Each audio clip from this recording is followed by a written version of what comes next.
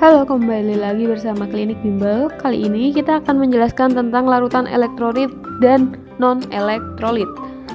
Oke, um, sebagai awalan berarti nanti gini. Uh, untuk awalan larutan elektrolit sendiri nanti terbagi menjadi dua. Ada yang namanya elektrolit kuat dan elektrolit lemah. Kemudian yang satunya disebut sebagai non-elektrolit. Nah, untuk membedakan antara elektrolit kuat, lemah, dan non-elektrolit, ini ada beberapa parameter. Yang pertama kita cek dulu dari segi gelembung gas. Untuk elektrolit kuat, itu gelembung gasnya banyak. Untuk lemah, sedikit. Sedangkan non-elektrolit itu tidak ada. Kita strip aja ya.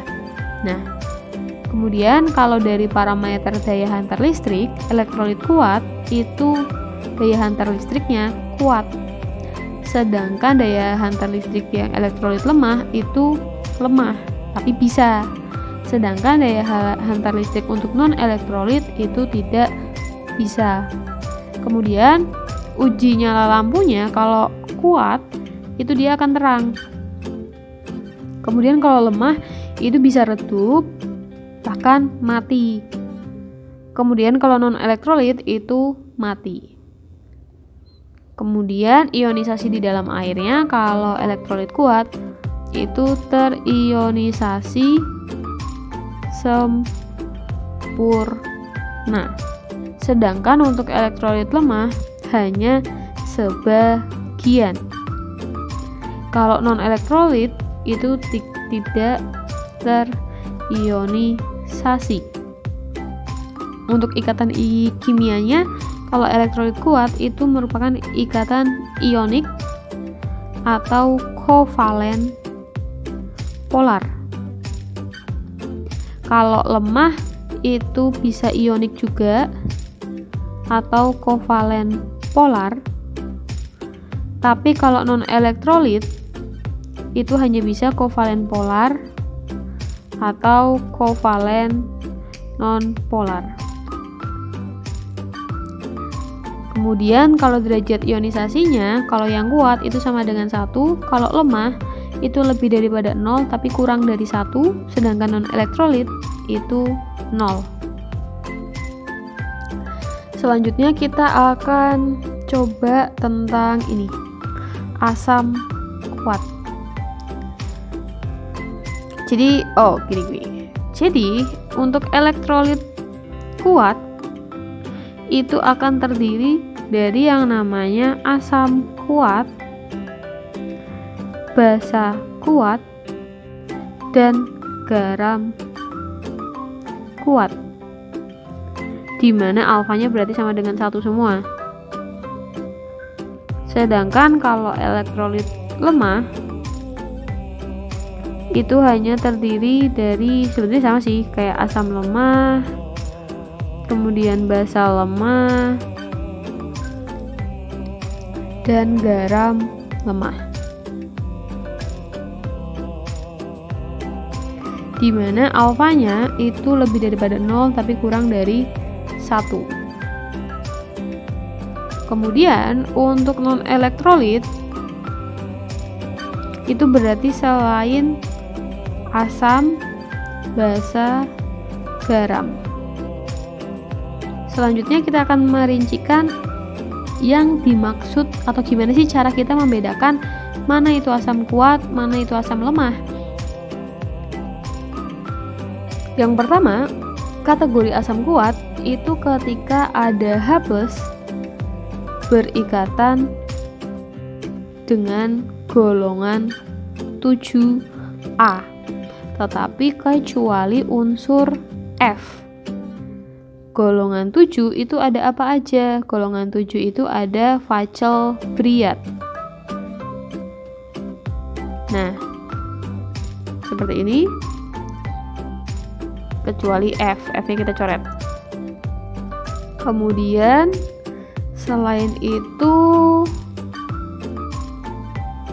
ada H+, itu ditambah dengan anion anionnya ma, uh, apa namanya mengandung O. Ada O-nya. Di mana nanti kalian uh, uh, harus hitung? Kalian harus hitung jumlah O. Ketika dikurangi dengan jumlah hanya itu harus lebih sama dengan dua. Karena kalau kurang berarti tidak masuk ke dalam asam kuat. Contoh ya misalkan ada H2SO4 hanya ada berapa? 2 O nya ada berapa? 4 makanya ketika O dikurangi H berarti 4 dikurangi 2 hasilnya 2 jadi memenuhi syarat. Jadi masuk ke dalam asam kuat tetapi ketika kita punya CH3COOH di situ hanya ada berapa? 4 O nya ada berapa? 2 berarti O dikurangi H itu adalah 2 dikurangi 4 minus 2 minus 2 itu tidak memenuhi. Makanya dia masuk ke dalam asam lemah. Yang ini asam kuat sampai situ paham ya? Kemudian untuk basa kuat itu secara rincian itu adalah adanya anion OH- itu akan berikatan dengan golongan 1A dan golongan 2A selain BE dan MG itu masuk ke dalam basa. Untuk golongan 1A sendiri itu ada lina naik rubidium chos free.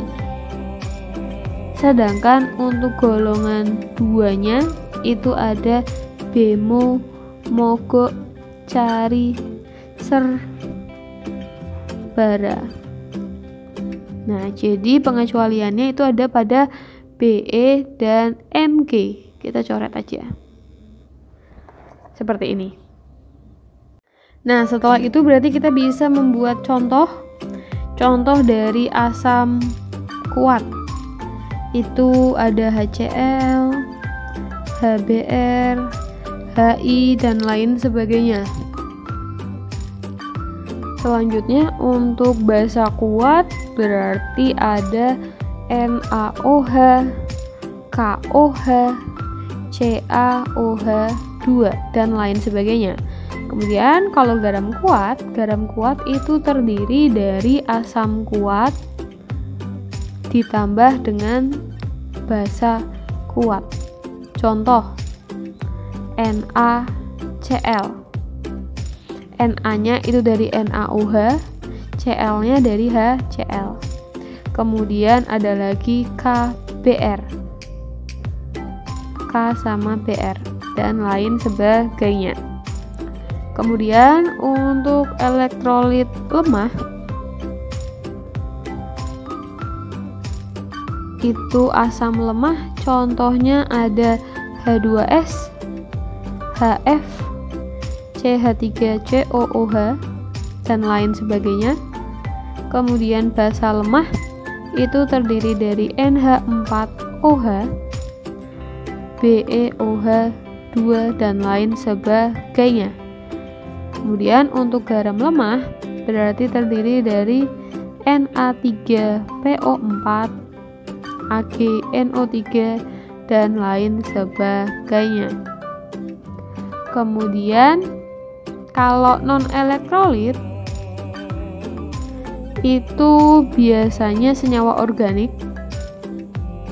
seperti glukosa. Itu terdiri dari unsur C6H12O6 rumus molekulnya.